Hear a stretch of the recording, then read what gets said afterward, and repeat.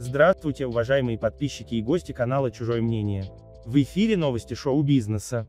Певица Наташа Королева показала в своем блоге, как проходят январские выпуски музыкальной программы на Муз-ТВ. А компанию артистки составил ее сын Архип Глушко. 20-летний юноша уже давно нацелен на карьеру в шоу-бизнесе, и мама ему в этом всячески помогает. Трудовые будни, праздники для нас. И снова мы с Архипом Снимаем снимаем наш удачный любимый чарт. удачный чарт на канале Муз ТВ. Далекие края, Хорошие соседи, веселые друзья. Лай ла ла ла ла ла ла ла ла ла ла ла ла ла ла ла ла ла ла ла Я тихо шла, шла, пирожок нашла.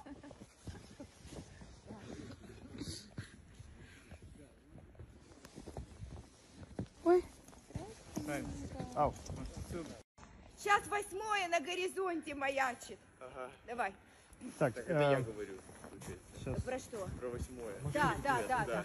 Мама, девятое уже давно проехали. Вон восьмое на горизонте маячит.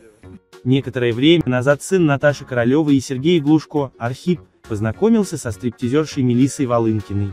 Девушка из глубинки работала в московских ночных клубах и, по ее словам, зарабатывала до миллиона рублей в месяц.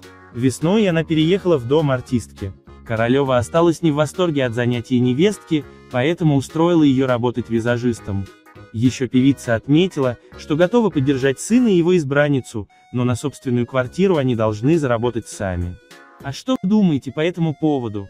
Оставляйте свои мысли в комментариях, оцените видео лайком, не забывайте подписаться и нажать на колокольчик, чтобы не пропустить свежие новости.